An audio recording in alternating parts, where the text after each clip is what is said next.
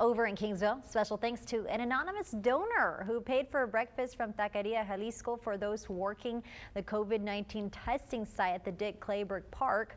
Workers also received drinks from the Sonic Drive-In. Neighbors helping one another. We love to see it.